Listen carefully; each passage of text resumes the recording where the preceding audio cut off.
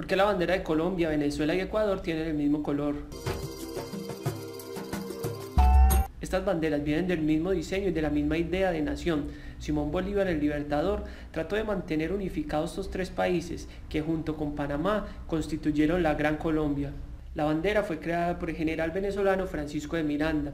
Los tres colores tienen el mismo significado para las tres naciones. El amarillo representa nuestra riqueza, principalmente el oro. El azul representa el mar, que nos separa de España, pero también que bordea cada uno de estos países y el rojo representa la sangre derramada por los héroes. Después que la Gran Colombia se divide, estos países conservan el diseño y el color de la bandera con algunas pequeñas diferencias. La de Venezuela aparece con unas estrellas en la mitad, la de Ecuador aparece con un escudo, la de Colombia generalmente no aparece con nada, pero en algunos actos presidenciales y patrióticos aparece con el escudo.